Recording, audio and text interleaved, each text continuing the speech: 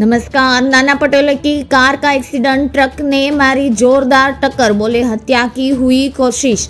महाराष्ट्र कांग्रेस प्रदेश अध्यक्ष नाना पटेल की कार का भयानक एक्सीडेंट हो गया भंडारा ज़िले के चुनावी दौरे के दौरान।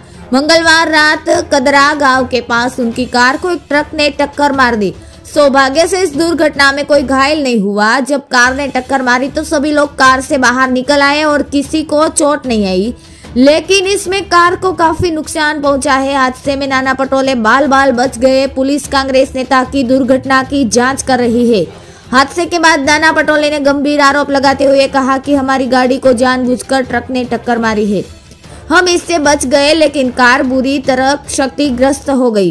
पटोले ने समझाया कि जनता के आशीर्वाद से हम सुरक्षित है। पुलिस इस बात की जाँच करेगी कि यह हादसा हादसा या नहीं था या नहीं। धन्यवाद।